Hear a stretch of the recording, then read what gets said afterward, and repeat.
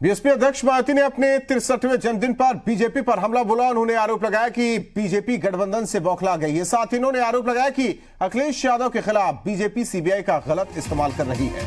मायावती ने कहा कि बीजेपी देवी देवताओं को जातियों में बांट रही है। मायावती ने इस दौरान मुस्लिम कार्ड, केला, उनको भी आर्थिक आधार पर आरक्षण देने की मांग उठाई। कर्ज माफ़ी को लेकर उन्होंने हमला बोला। कहा कि कर्ज माफ़ी के लिए बड़े कदम उठाने चाहिए। किसानों का कर्ज माफ़ होना चाहिए।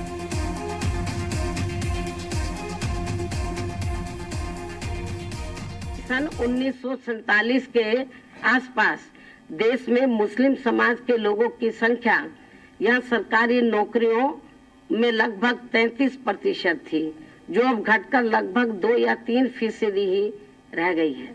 इसलिए हमारी पार्टी इनके लिए शुरू से ही यह यहाँ आर्थिक आधार पर अलग से आरक्षण देने की बरकरार मांग करती आ रही है।